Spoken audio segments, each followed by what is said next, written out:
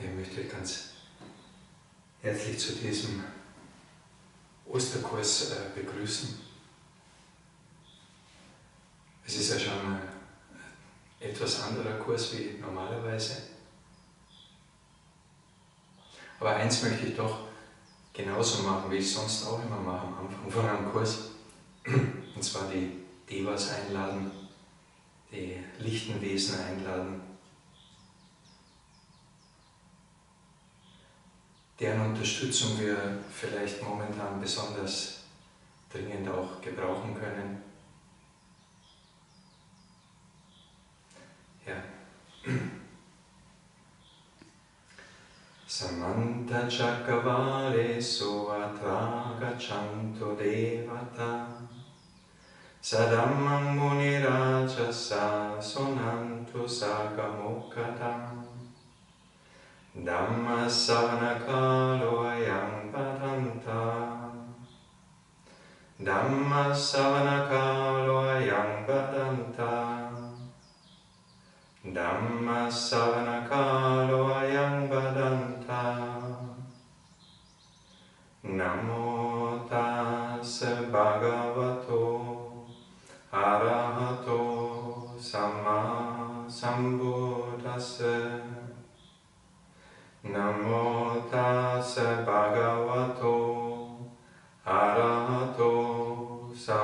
Sama Sambuddhassa Namo Tassa Bhagavato. Arahato Sama. Sambuddhassa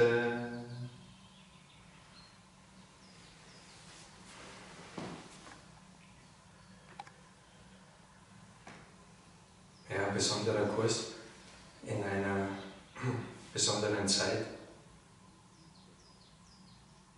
Wir hatten ja lange überlegt, auch äh, wie wir den Kurs äh, gestalten können.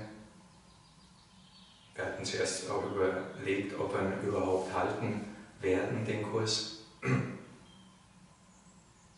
Er wurde, ja, ich weiß jetzt gar nicht mehr wann, es war im März abgesagt, war ja dann die Situation so gewesen, dass durch diese Corona-Krise äh, ja, öffentliche Veranstaltungen ja nicht mehr möglich waren. Ja, und dann ist aber auch sofort der Gedanke hochgekommen, es ist so schade, den Kurs auch abzusagen. Das ist so, ja, so eine feste Institution auch geworden, der Osterkurs im Buddha-Haus. Und ja, und dann ist natürlich auch so äh, nach und nach auch so äh, die Energie entstanden, dass man ja auch online was anbieten kann. Ja, und so irgendwann ist es dann auch zu uns vorgedrungen in die Metta Vihara und dass man ja auch online was anbieten könnte. Und gleichzeitig ist es aber auch so, dass wir hier äh, langsames Internet haben, sodass ein Livestream eben nicht möglich ist. Sodass wir jetzt äh, das Ganze zeitversetzt äh, sozusagen präsentieren werden und ihr aber ganz normal wie bei einem ganz äh, regulären Osterkurs am Gründonnerstag äh, ja, den Vortrag äh, anhören könnt. Ich bin sehr dankbar, dass es uns möglich ist, dass wir das machen.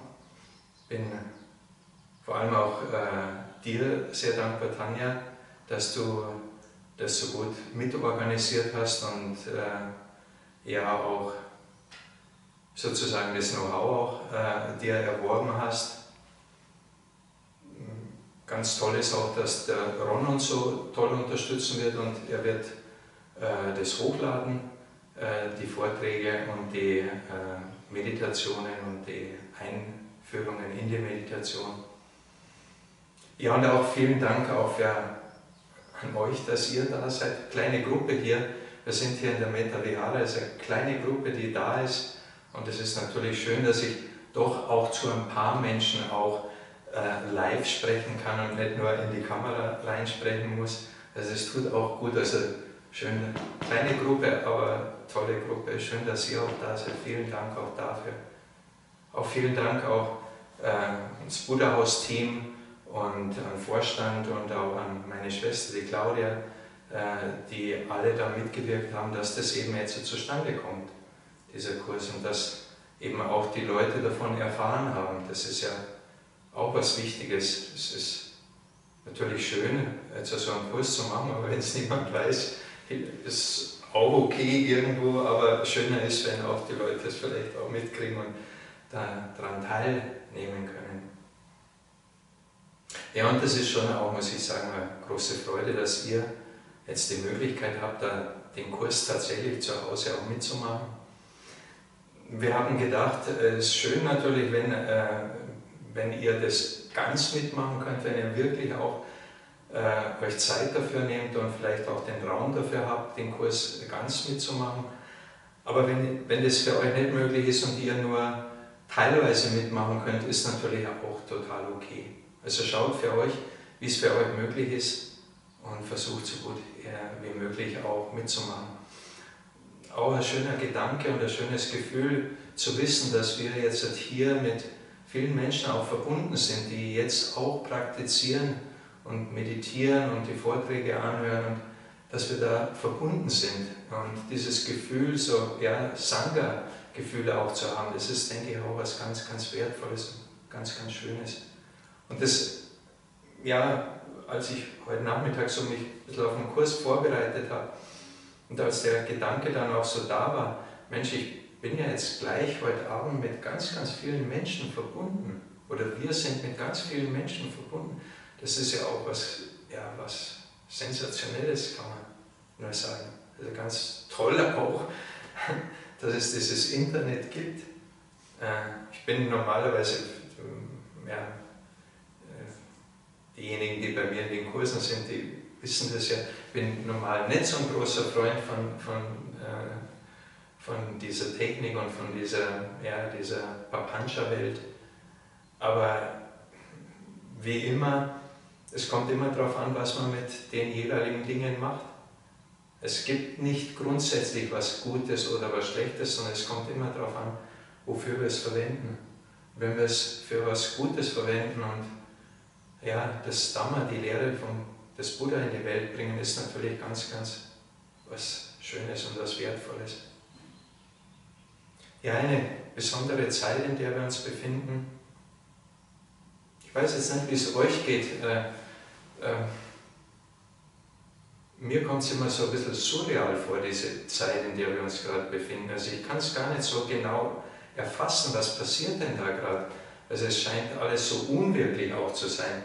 Äh, auf einmal äh, äh, kann man nicht mehr mit anderen Leuten zusammen sein. Auf einmal sind viele Dinge gar nicht mehr möglich. Man muss, man muss zu Hause bleiben, man muss ja, innehalten. Ähm, ja, es gibt viele, viele Interpretationen, was das alles bedeuten kann.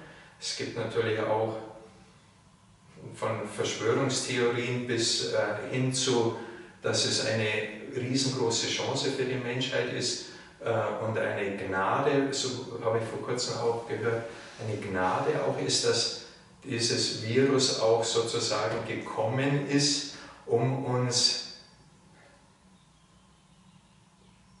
ja, vielleicht einmal innehalten zu lassen. Und so mal ein bisschen runterkommen lässt, ein bisschen rauskommen lässt aus, aus diesem Rad, in dem wir uns äh, die letzten Jahre oder Jahrzehnte befunden haben. Und dieses Rad, das ja so an Geschwindigkeit zugenommen hat, dass ja die meisten Menschen fast nicht mehr mitkommen und nur noch irgendwie schauen, dass sie irgendwie über die Runden kommen. Und jetzt auf einmal äh, Zeit innehalten, äh, nochmal die Möglichkeit, äh, sich vielleicht auch Fragen zu stellen, Fragen, die sonst normalerweise überhaupt nicht mehr hochkommen oder keinen Platz mehr haben, dass sie, dass sie, vor, dass sie hochkommen können, weil wir ganz einfach so getrieben sind und so wenig Zeit haben und so äh, äh die ganze Zeit schauen müssen, dass wir irgendwie hinterherkommen, dass ganz einfach diese ja, bedeutenden Fragen, diese lebenswichtigen Fragen äh, keinen Platz mehr haben, keine Zeit mehr haben. Um was geht es denn eigentlich? Wäre die Frage. Um was geht es denn eigentlich in einem menschlichen Leben? Um was geht es denn bei mir selbst? Um was geht es denn äh, ja, in der Gemeinschaft der Menschen? Um was geht es denn in der Schöpfung? Und das ist schon etwas, wo momentan tatsächlich eine große Chance vorhanden ist, dass wir diese Möglichkeit haben, dieses Innehalten. Äh, ja, es wird wahrscheinlich unterschiedlich erlebt. Manche fühlen sich natürlich auch ausgebremst, man, man, manche Menschen kommen wahrscheinlich auch ziemlich unter Druck. Bei manchen Menschen, denke ich, kommen auch Ängste hoch, Existenzängste hoch. Wie geht es weiter? Können wir das wieder aufholen, was wir momentan alles auch äh, verloren haben? Ich möchte fast sagen, hoffentlich können wir es nicht mehr aufholen. Ja. Hoffentlich nehmen wir tatsächlich diese Chance wahr und verändern was in unserem Leben und in, in unserer Gesellschaft. Weil, wenn wir uns vielleicht erinnern an die Zeit vor dem Coronavirus, da war ja die Welt auch schon in einer totalen Schräglage. Das ist jetzt nicht ganz was Neues, dass wir jetzt eine besonders schwierige Zeit haben, sondern es war ja auch vorher schon äh, ganz äh, ja, herausfordernde oder, oder bedenkenswerte Situation, in der wir uns befunden haben. Vor dieser Krise war zum Beispiel das Thema äh, äh, Klimaerwärmung oder Klimakatastrophe war sehr, sehr äh, dominant, sehr, sehr prägend. Das ist momentan eher wieder ein bisschen in den Hintergrund gegangen, aber es wird mit Sicherheit auch wieder in den Vordergrund kommen, weil es ganz einfach uns ja, betrifft und uns wachrütteln muss. Ja. Manchmal wird gesagt, wir haben nicht mehr viel Zeit, um eine Umkehr sozusagen hinzubringen. Eine Umkehr von was zu was, das sind ja die Fragen, die wir uns stellen können. Eine Umkehr, ist es tatsächlich so, so ungut oder so destruktiv, so Leid erzeugen, so Stress erzeugen, dieses Leben, das wir uns sozusagen angeeignet haben, dass wir uns gewählt haben. Was können wir aus dem Leben vielleicht auch als Gutes äh, mitverwenden, um äh, uns in was Neues, in was Heilsameres, in was Friedlicheres, in was Mitfüllenderes, in was Liebevolleres hineinzuentwickeln. Aya Kema hat in ihrem letzten Meditationskurs, den sie gegeben hat, das war 1997, das Thema gehabt, Mystik ist kein Mysterium und sie hat dann als Einleitung zu diesem Kurs einen Ausspruch von einem christlichen äh, äh, Lehrer äh, verwendet, Karl Rahner, der gesagt hatte, wenn der Mensch des 21. Jahrhunderts, oder wenn der, er hat gesagt, wenn der Christ des 21. Jahrhunderts kein Mystiker sein wird, äh, dann wird er gar nicht mehr sein. Und Aya Kemmer hat es dann umformuliert und hat gesagt, wenn der Mensch des 21. Jahrhunderts kein Mystiker sein wird, dann wird er gar nicht mehr sein. Und sie hat dann gesagt, ja, wir haben jetzt noch drei Jahre, dann fängt das 21. Jahrhundert an. Was machen wir mit den drei Jahren? Ja, inzwischen ist die Zeit fortgeschritten. Wir sind jetzt im Jahr 2020, wir sind 23 Jahre später dran. Wir sind jetzt 20 Jahre schon in diesem neuen Zeitalter, in dem 21. Jahrhundert. Und man könnte sich fragen, was hat sich denn geändert? Hat sich wirklich was verändert seit dieser Zeit, seit diesem Meditationskurs? Mystik ist kein Mysterium. Sind wir Mystiker geworden? Oder was bedeutet das vielleicht auch überhaupt? Was ist ein Mystiker? Was ist damit gemeint? Und ich denke, Mystiker ist vor allem jemand, der im Einklang mit den Naturgesetzen lebt, der im Einklang mit Mutter Erde lebt. Ein Mystiker ist jemand, der vielleicht nicht äh, äh, das Leid in der Welt vermehrt, sondern eher dafür sorgt, dass weniger Leid in, die, in der Welt vorhanden ist. Mystiker ist jemand, der die Ich-Bezogenheit vielleicht etwas reduziert und nicht verstärkt. Und ein Mystiker ist vor allem jemand, der mit allem Sein verbunden ist, der das verstanden hat und vielleicht auch erlebt hat, dass wir eine Schöpfung sind und dass diese Separierung, in der wir uns immer befinden, äh, an die wir äh, so absolut daran glauben, dass das eine Illusion ist, so wie es Buddha ja auch vor zweieinhalbtausend Jahren schon formuliert hat. Und dass das die Ursache für all unser Leid ist, diese, diese Anschauung, diese, diese Meinung, dieses Fühlen, ich bin separiert und außerhalb von mir ist eine andere Welt und diese Welt muss ich irgendwie äh, beherrschbar machen, kontrollierbar machen, die muss ich mir irgendwie, so wie es in der Bibel sogar lautet, mir untertan machen. Also es sind ja so äh, ja, Ansätze oder Verhaltensweisen, wo man nur sagen kann, ja, das kann ja nichts Heilsames dabei rauskommen, aus dieser Haltung, aus dieser Anschauung, aus, ja, aus diesem Fühlen auch. Ein Mystiker ist jemand, der mit allem Sein verbunden ist. Vielleicht besonders in der heutigen Zeit auch mit Mutter Erde verbunden ist, die so zu leiden hat unter unserem Verhalten, unserem gierigen, ausbeuterischen, rücksichtslosen Verhalten, mit dem wir äh, Mutter Erde begegnen, wo wir glauben, die Ressourcen sind äh, unendlich vorhanden und äh, wo wir glauben, dass äh, äh, alles, was wir äh, an, an, an Umweltverschmutzung in die Wege leiten, dass das einfach so irgendwie schon irgendwie wieder in Ordnung kommen wird oder irgendwie wird es schon verkraftet werden von der Erde. Die hat doch bis jetzt immer auch funktioniert und hat doch immer uns versorgt und uns mit allem unterstützt. Es wird doch immer so weitergehen. Und da eben zu erkennen, es wird nicht immer so weitergehen.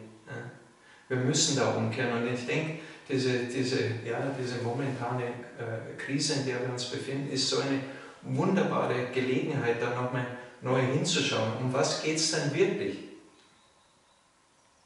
Geht es tatsächlich darum, dass wir möglichst viel zum Konsumieren haben?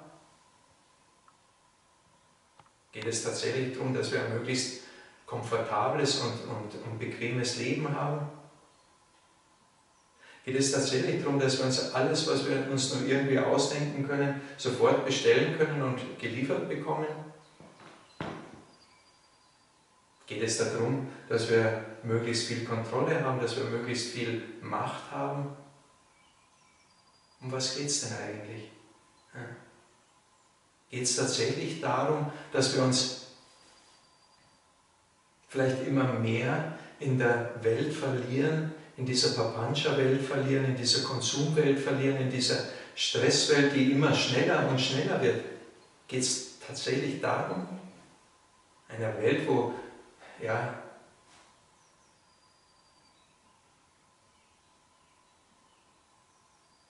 die Börse vielleicht das Sagen hat, uns dominiert und wo es nur um Gewinnmaximierung geht und dadurch natürlich alles auch dementsprechend beeinflusst ist.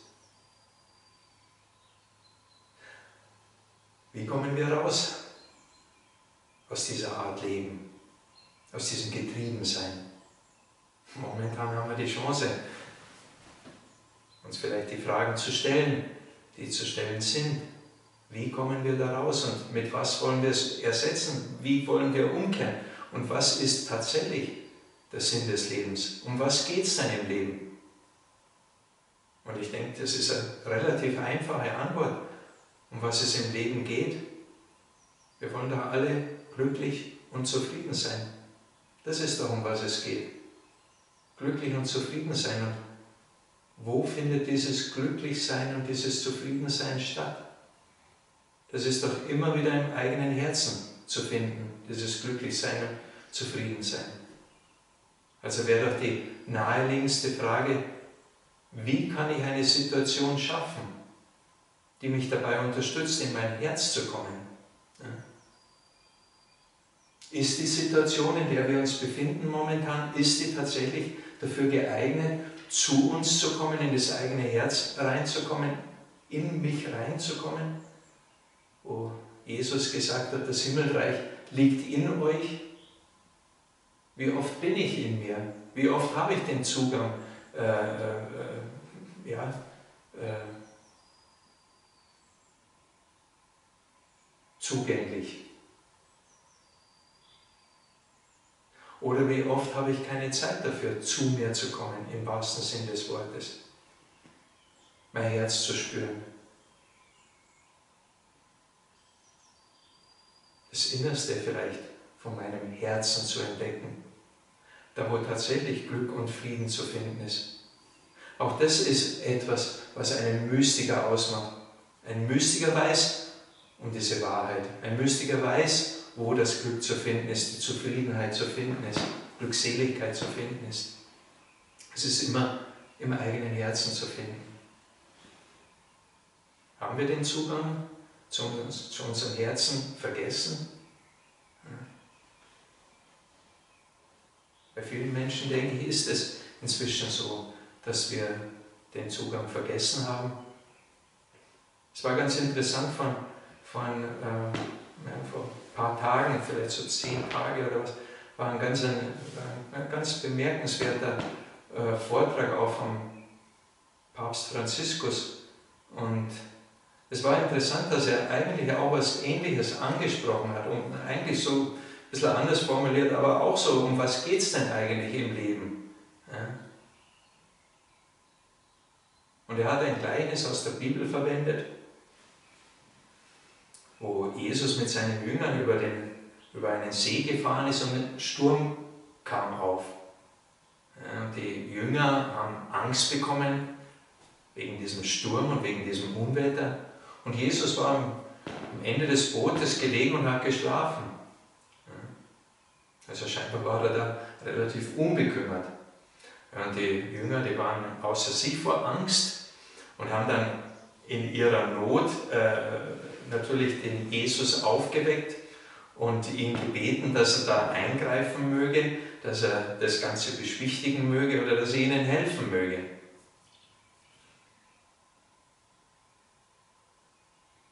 Und Jesus sagt dann zu ihnen, und das ist bemerkenswerter Ausspruch,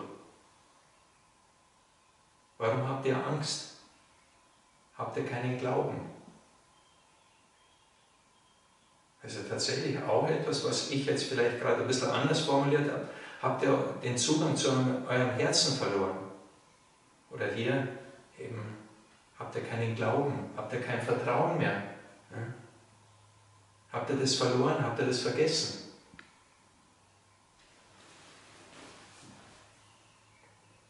Vielleicht auch eine Frage, die wir uns stellen können. Wir würden es vielleicht in unserer Tradition nicht mit Glauben äh, übersetzen, dass wir den Glauben verloren haben, aber vielleicht mit Vertrauen zu unserem, zu unserem inneren Sein.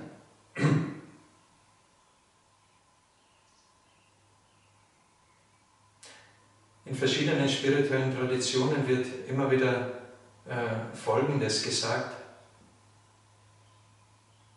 Unser wahres Sein ist reines, klares Licht oder der Zustand unseres Herzens, der ursprüngliche Zustand unseres Herzens, ist reines, klares Licht. Durch hinzugekommene Trübungen ist dieser Zustand verdeckt. Also durch diese hinzugekommenen Trübungen könnte man vielleicht auch sagen, haben wir unseren wahren Zustand vergessen. Und der Weg eines Mystikers besteht darin, sich wieder an den wahren Zustand auch zu erinnern, wieder den Weg aufzunehmen, sich wieder zurück zu erinnern oder wieder an das wahre Sein zu erinnern, das im eigenen Herzen zu finden ist.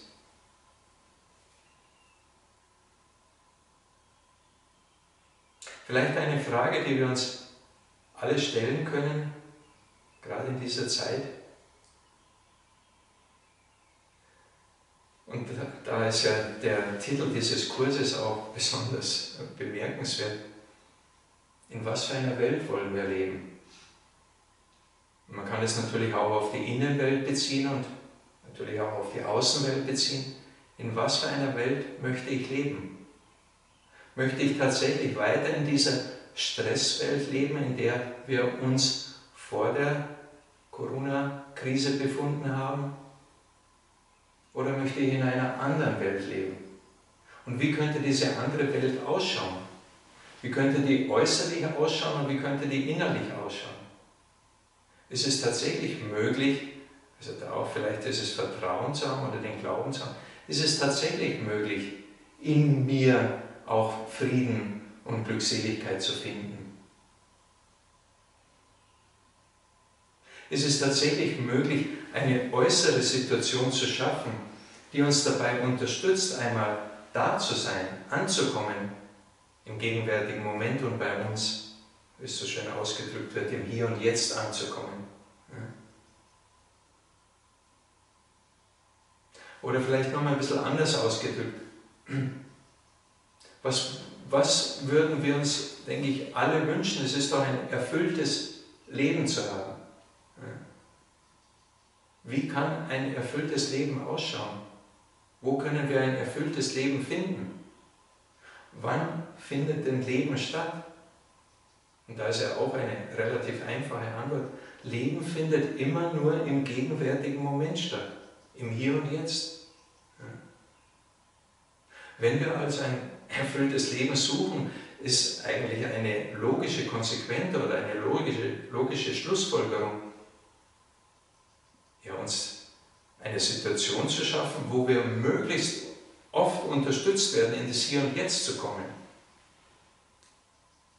Und dann wieder die Frage, ist die Gesellschaft, wie sie sozusagen äh, sich etabliert hat, wie sie äh, sich die letzten Jahre geformt hat, ist sie tatsächlich geeignet, um uns in das Hier und Jetzt zu bringen, da wo das Leben zu erleben ist, wo das Leben stattfindet und uns vielleicht auch bewusst zu machen, ein erfülltes Leben kann nur dann stattfinden, wenn wir auch im Leben ankommen. Und das Leben ist jetzt. Also wäre ja zum Beispiel wäre eine wichtige Frage, wie können wir eine äußere Situation schaffen, die uns dabei unterstützt, in den gegenwärtigen Moment zu kommen. In der buddhistischen Lehre wird es Achtsamkeitspraxis genannt. Es ist inzwischen relativ bekannt geworden, die Achtsamkeitspraxis, zumindest in gewissen Kreisen, in psychotherapeutischen Kreisen, im Gesundheitswesen etwas. Natürlich in spirituellen Kreisen ist die Achtsamkeitspraxis ein wichtiger Bestandteil. Achtsamkeitspraxis bedeutet nichts anderes, als ein Training aufzunehmen oder eine, eine Lebensgestaltung äh, vorzunehmen, die uns dabei unterstützt, immer wieder im gegenwärtigen Moment anzukommen, die uns dabei unterstützt, immer wieder bei uns selbst anzukommen, die uns dabei unterstützt, im Leben anzukommen, sodass wir auch die Chance haben, ein erfülltes Leben zu bekommen. Ja, wenn wir diese Krise, in der wir uns momentan befinden, ja, als Chance auch betrachten, könnte eben eine Frage auch lauten, wie können wir eine äußere Situation schaffen? Wie können wir ja, die Welt umgestalten, sodass sie uns in den gegenwärtigen Moment führt?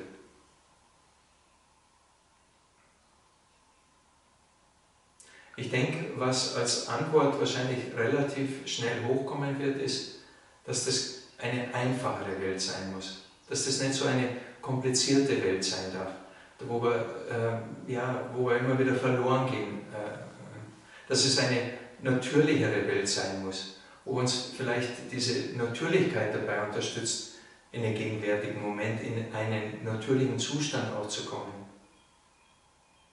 Wie gut sind wir noch mit der Natur verbunden. Wie natürlich sind wir noch?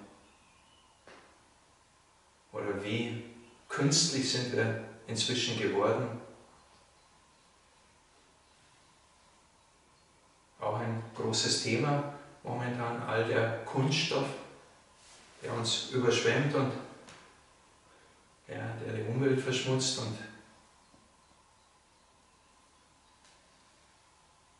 wo wir auch einen Weg finden müssen, aus dieser künstlichen Kunststoffwelt vielleicht uns rauszubegeben.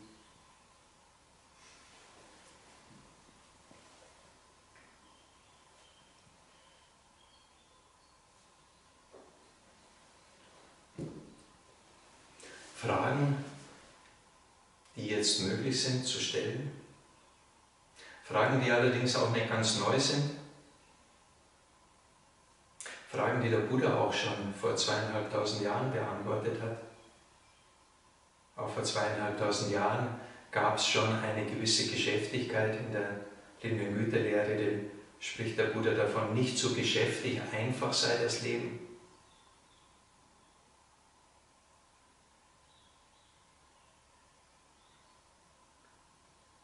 Der Buddha wurde ja oft als der große Arzt auch bezeichnet. Und das Dhamma, seine Lehre, wurde oft als die große Medizin bezeichnet. Ist vielleicht ganz passend für die jetzige Zeit, wo wir ja auch diese Krankheit haben und wo es vielleicht auch darum geht, zu untersuchen, was will uns diese Krankheit sagen oder was ist die Ursache auch dieser Krankheit. Es ist ja auch wichtig, dass wir die Ursache einer Krankheit auch erkennen, damit wir auch was unternehmen können. Und es ist vielleicht auch etwas ganz Besonderes, dass der Buddha tatsächlich die Fähigkeit hatte, die Ursache für alle Krankheiten auch zu benennen. Es wird das Thema sein dieses Kurses auch, die bedingte Entstehungskette. Es ist die zweite edle Wahrheit, die bedingte Entstehungskette, wo erklärt wurde vom Buddha, äh, wie Leiden immer wieder entsteht, wie diese Krankheit, äh, in der wir uns befinden, immer wieder entsteht. Das können wir auch momentan, den momentanen Zustand, in dem wir uns befinden, ist ja tatsächlich auch sehr offensichtlich eine Krankheit. Aber nicht nur dieser Coronavirus, äh, wenn wir den betrachten, sondern überhaupt unsere Situation, in der wir uns momentan befinden. Und was ist die Ursache für diese schwierige Situation, in der wir uns befinden? Und das ist eben das Geniale, dass Buddha das tatsächlich äh, entdeckt hat, aufgedeckt hat, was die Ursache für all unsere Probleme, für all unser Leiden ist. Und er die Fähigkeit hatte, das im Detail auch darzulegen, in dieser bedingten Entstehungskette auch darzulegen, die wir in diesem Kurs auch besprechen werden und wie durch dieses Erkennen von, von der Ursache vom Leiden dann auch ein Weg sich für uns auftut, wie wir aus diesem Leiden auch rauskommen können. Ein großes Geschenk, das Buddha uns da vor über zweieinhalbtausend Jahren gemacht hat, äh, das wir natürlich vielleicht in der heutigen Zeit besonders dringend auch anwenden können und verwenden können, gerade im Hinblick auf Krankheit.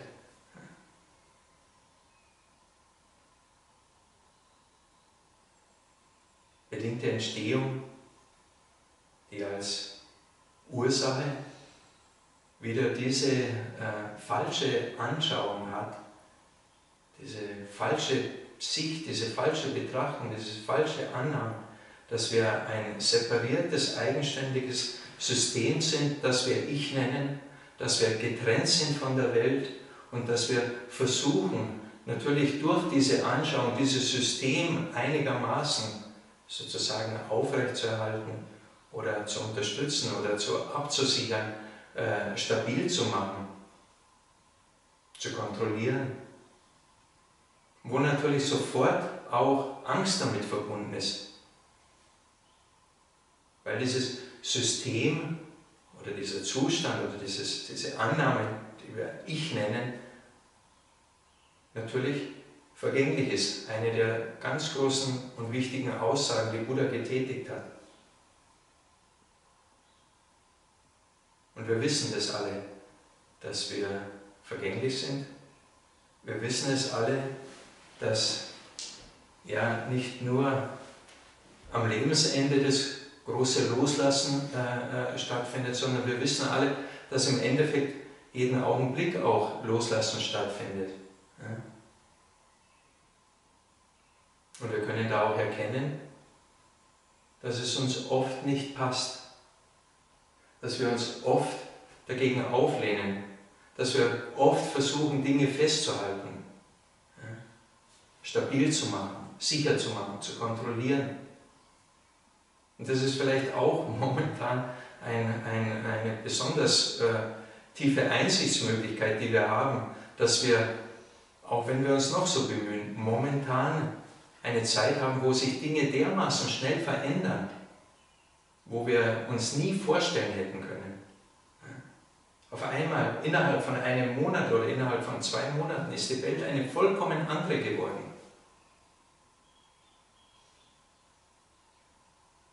Eine Welt, wo wir tatsächlich nicht genau wissen, wie es weitergehen wird. Wo man denkt, hoffentlich hält es noch etwas an, dieses Innehalten, dieses Nachdenken, dieses Reflektieren. Hoffentlich geht es nicht zu so schnell wieder zurück in das alte Fahrwasser.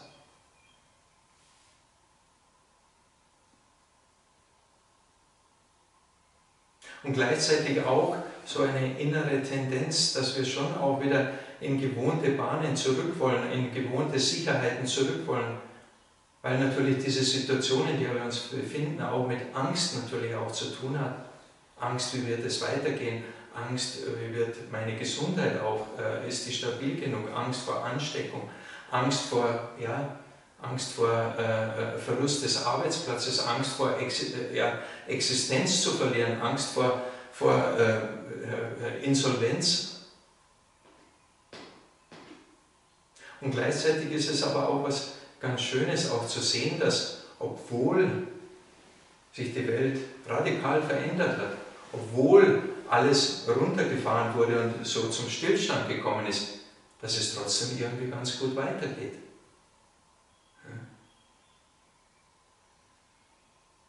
Vielleicht sogar in manchen Bereichen sogar besser weitergeht.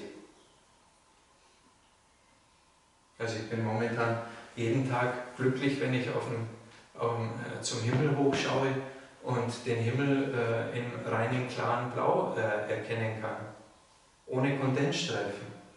Das ist ja ein großes Geschenk, das da momentan auch stattfindet, so dass die Natur, man hat so das Gefühl, die Natur kann etwas durchatmen, kann sich etwas erholen. Auch die Natur kann etwas innehalten, kann sich ja etwas erholen.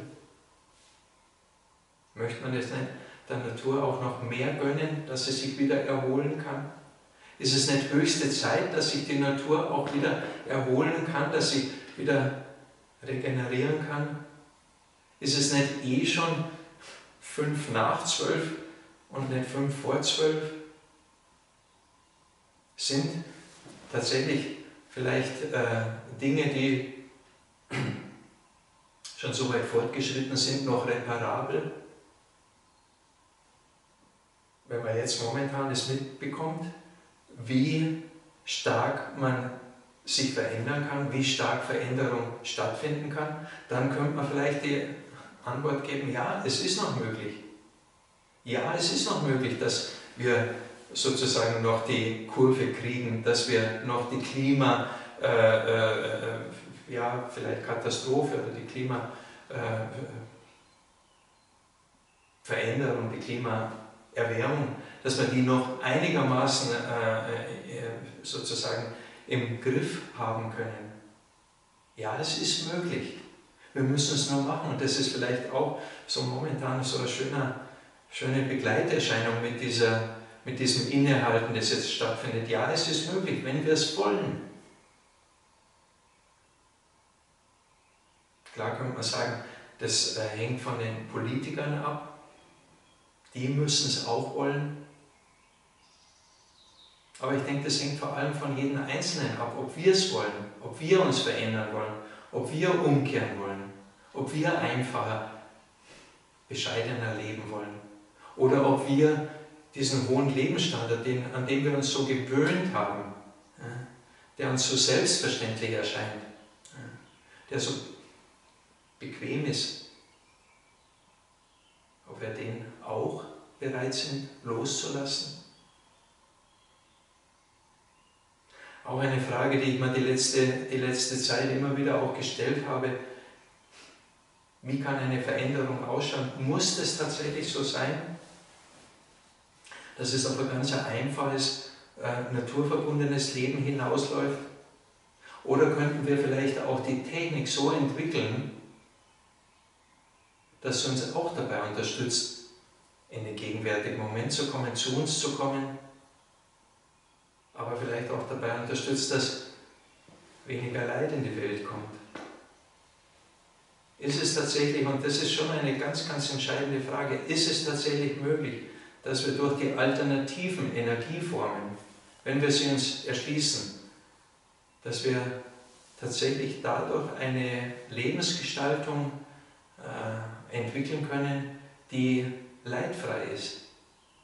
Oder kostet, kosten diese alternativen Energieformen doch auch wieder so viel Ressourcen?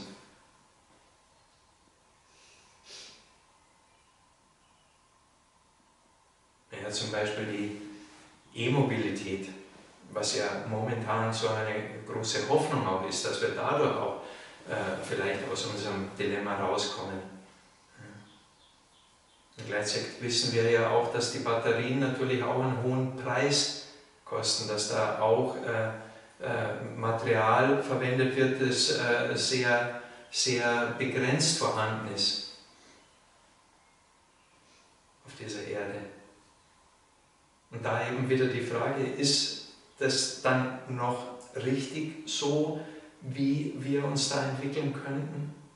Und gleichzeitig aber auch die Frage, können wir uns wieder zurückentwickeln, so wie es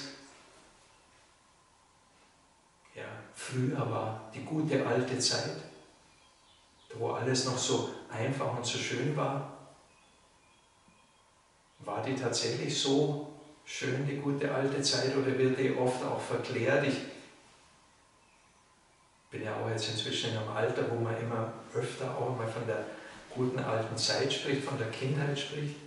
Und das war schon noch eine ganz andere Zeit. Es gab damals noch kein Telefon. Also man muss sich das mal vorstellen. Es gab keinen Fernseher, Radio gab es schon. Es gab kaum Autos, es gab kein Plastik. Auch kann man sich gar nicht mehr vorstellen. Und man hat aber auch ganz gut gelebt. Ein Zimmer, es war so, ein Zimmer wurde geheizt, es war die Küche. Da haben sich alle aufgehalten, haben sich alle zusammengefunden. Alles hat sich in der Küche abgespielt. Das, wurde, äh, das war das Zimmer, das geheizt wurde. Das war in fast allen Haushalten war das so. Der gute alte Wamslerherd, mit dem man heizen konnte, mit dem man Wasser heiß machen konnte und mit dem man kochen konnte. Also sehr effektiv natürlich, so eine Art der Energie, äh, des Energieverbrauchs. Und auch eine schöne Art, natürlich ein eigenes Feuer zu haben. Sind schon vielleicht auch Elemente, an die wir uns wieder erinnern könnten. Ist es tatsächlich notwendig, dass das ganze Haus immer warm ist? Dass wir immer fließend warmes und kaltes Wasser haben? dass wir immer alles zur Verfügung haben, dass wir immer erreichbar sind, dass wir immer zu allem Zugang haben, zu allen Informationen dieser Welt? Ist es tatsächlich so wichtig, so beglückend? Oder wäre vielleicht doch ein einfaches Leben gar keine so schlechte Alternative? Aber da eben zu schauen, auch wie weit sind wir bereit, einfacher zu werden. Und da kann man durchaus auch sich bei der eigenen Nase nehmen und, und erkennen, es ist nicht so einfach, wenn man mal gewisse Gewohnheiten hat, wieder zu reduzieren. Aber auch dafür ist momentan die Zeit da, auch sich darüber Gedanken zu machen, sich vielleicht auch äh, ja, äh, die ein oder andere Gewohnheit abzugewöhnen und sich neue Gewohnheiten zuzulegen. Was bei uns momentan total schön ist, dass wir seit ein paar Jahren einen eigenen Garten haben. Dank dir, Christine und Mario. Und das ist gerade in der heutigen Zeit sowas, finde ich, sowas ganz, ganz Wertvolles, wo man das Gefühl hat, ja, das ist die Richtung, in die es gehen könnte. Wieder das eigene Gemüse anbauen, Sachen wieder einmachen, dass man nicht irgendwelche Lieferwege in Anspruch nehmen muss, wo man dann das Gemüse oder das Obst aus, ja, was weiß Gott woher äh, äh, bekommen muss. Also wieder regionaler werden, wieder zu uns zu kommen, auch hier wieder zu sich zu kommen. Ja, das eigene Gemüse auch zu essen, im Garten zu gehen, das Gemüse zu ernten bei uns in der Metta-Vihara das Metta-Gemüse zu ernten und dann um Martina das bekocht zu werden. Ja, vielen Dank auch. Das ist was Beglückendes, das eigene Brot zu backen. Das ist was Beglückendes. Das sind vielleicht diese einfachen Dinge, auch von, zu denen wir auch wieder zurückkehren können, auch gerade in so einer Zeit wie der momentanen Zeit, wo wir auch vielleicht auch mal Zeit haben, ein Brot zu backen oder einen Garten anzulegen. Und gleichzeitig ist es schon auch so eine Frage, die ich mir dann auch wieder stelle, was sollen die ganzen Menschen in der Stadt machen? Die haben ja nicht alle einen Garten. Ja klar, okay, die können vielleicht am Balkon, wenn sie einen Balkon haben, auch ein paar Kräuter anbauen oder Tomaten anbauen. Eine alte Indianerweisheit von den Hopi-Indianern war, eine Lebensgemeinschaft mit mehr als 3000 Menschen ist nicht mehr lebenswert. Wenn man heutzutage die Städte anschaut, es sind natürlich mehr wie 3000 Menschen, die da leben. Wobei manche Städte, hat man das Gefühl, sind schon auch noch lebenswert, wenn genügend Natur auch da ist. Aber, bei, aber in manchen Städten kann man schon sagen, das ist nicht mehr lebenswert, wie, wie die geworden sind. Aber was macht man? Ist für über sieben Milliarden Menschen ist genügend Land da, dass, sodass jeder seinen eigenen Garten haben kann? Das sind so Fragen, wie, wie, wie können wir das umsetzen? Auch Ernährung ist natürlich ein großes Thema. Äh, ja. Wird alles also auf uns zukommen? Ist es möglich, tatsächlich immer Fleisch zu essen, wo man wahnsinnig viel Energie dafür verbraucht? Oder wäre es nicht sinnvoller, vegetarische Ernährung, wo man wesentlich mehr Menschen versorgen könnte mit weniger Energieaufwand? Das werden auch Fragen sein, man traut sich immer gar nicht so ansprechen, aber das werden Fragen sein, die auf uns zukommen, wo vielleicht auch momentan auch eine Zeit ist, wo man darüber nachdenken kann. In was für einer Welt wollen wir leben? Einer Welt, wo wir Massentierhaltung haben? Ist das die Welt, wie wir sie uns vorstellen? Wo alles immer einen Nutzen haben muss? Nutzwald, Fichte Monokultur. Es muss sich rentieren, es muss ja, genutzt werden. Ist das eine Natur, wie wir sie uns vorstellen? Ich denke, momentan ist es so offensichtlich. Also die Fichte Monokultur wird, wird äh, nicht überleben. Es wird, äh, es, es wird sich vieles verändern.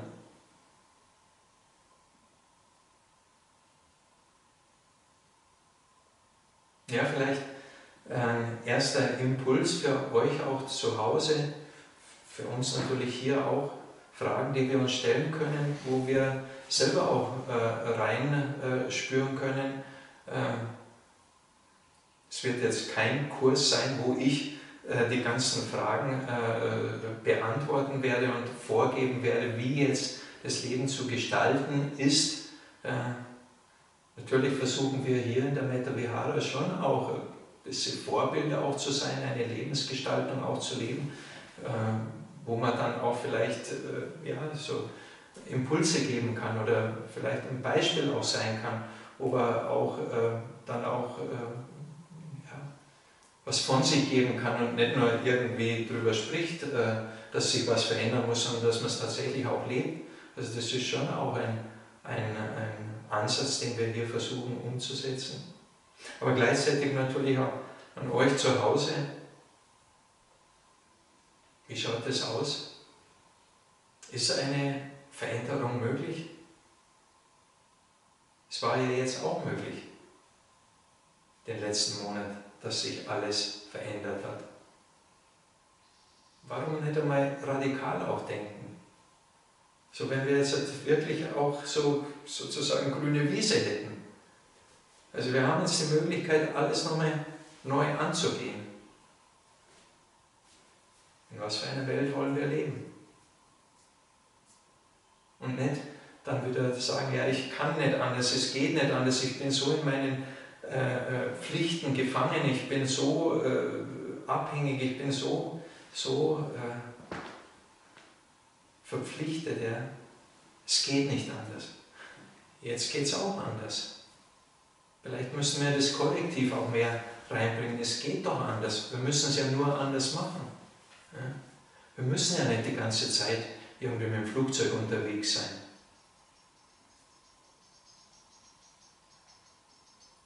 Wir könnten ja auch wieder mehr regional produzieren, sodass wir nicht auf die Lieferketten von anderen Ländern angewiesen sind.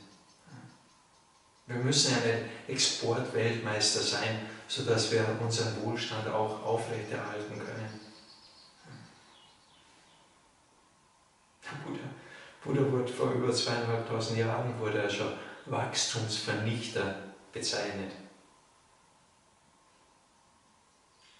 Er hat einen Weg gelehrt, der in Einfachheit besteht, in Bescheidenheit auch. Einfach sei das Leben.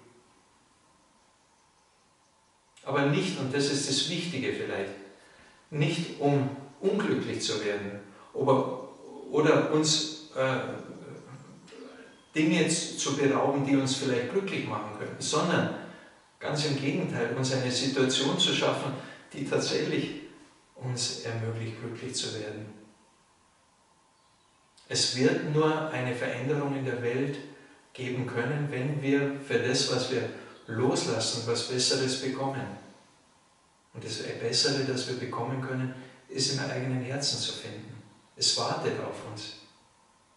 Wir müssen uns nur auf den Weg dahin machen.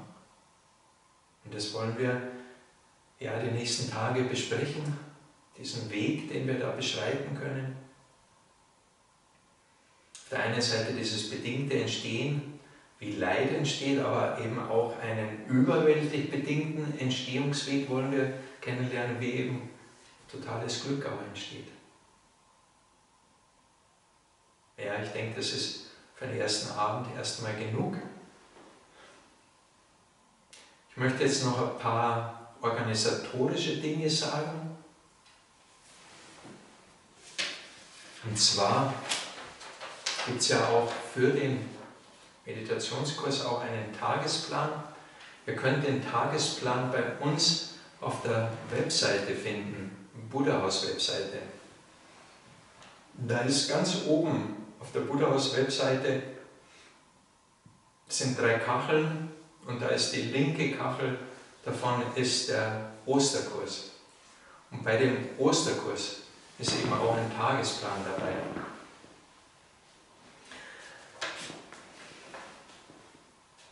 Dann werdet ihr jeden Tag auf dem YouTube-Kanal, so habe ich mich informiert, eine Playlist vorfinden, wo der jeweilige Tag sozusagen äh, äh, die Elemente für diesen Tag vorhanden sind und die ihr dann anhand von dem Tagesplan zuordnen könnt.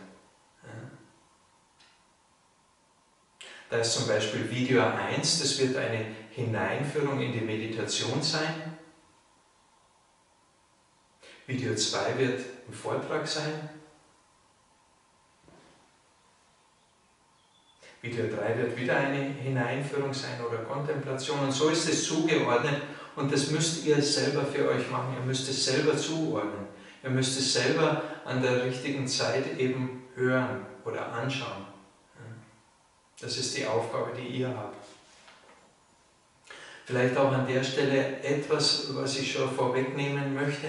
Wir werden auch die Hineinführung äh, in die Meditation, äh, da werden wir das, äh, die Kamera weiterlaufen lassen, sodass das äh, sozusagen auch die stille Meditation auch mit aufgezeichnet wird. Das hat folgenden Grund, weil wenn, wenn ihr dann nicht sofort abschalten würdet nach der Hineinführung, sondern eigentlich schön weiter meditieren würdet, dann kommt der nächste Beitrag auf dem YouTube-Kanal. Und das, ja, das kann vielleicht auch ein, das nächste Element von unserer Playlist sein, aber das kann ganz was anderes auch sein.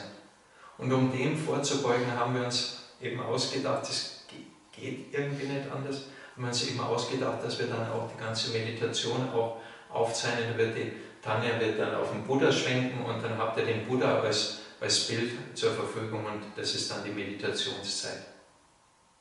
Wir werden am Ende der Meditation wird es einen Gong geben und nach dem Gong werden wir noch etwas Zeit geben, sodass ihr ganz in Ruhe dann sozusagen den, den, das Gerät abschalten könnt. Dann wird es die Möglichkeit geben, Fragen zu stellen. Wir haben eine extra äh, Internetadresse eingerichtet äh, für Fragen, die lautet fragen.buddhahaus.de. Ist auch auf unserer Website zu finden, auch auf der Kachel zu finden, ist die Adresse auch zu finden. Dann haben wir auch noch, möchte man sehr, sehr gerne auch die Möglichkeit anbieten, gerade auch für die Menschen, die jemanden kennen, der unter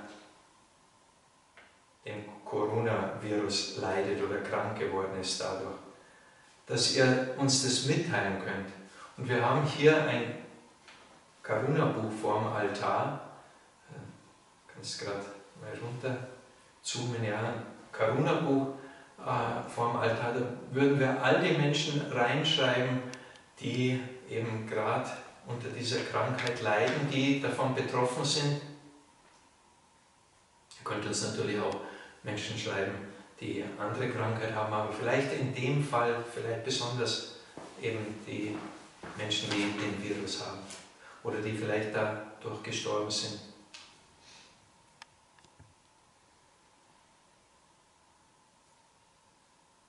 Ja, in unserem Bekanntenkreis ist jemand gestorben an dem Virus, ja, wo, man, wo ich auch nochmal tief betroffen war wo ich äh, mir manchmal auch gedacht habe, da wird ein bisschen zu viel drum gemacht um das Ganze.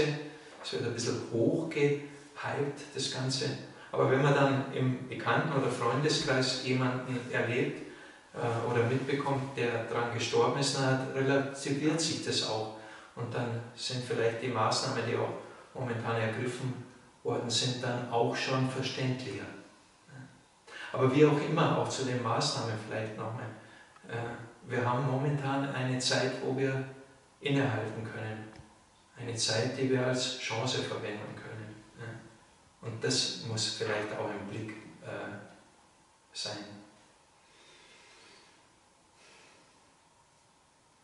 Ich denke, ich habe jetzt alles erwähnt, was auf dem äh, Tagesplan drauf steht.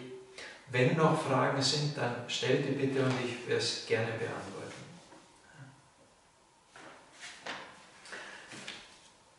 Wir werden jetzt eine kurze Pause machen und anschließend werden wir doch eine liebende Güte-Meditation zusammen machen. Das ist dann für den ersten Tag das zweite Element von der playlist. Okay. Sarva, sarva, sarva.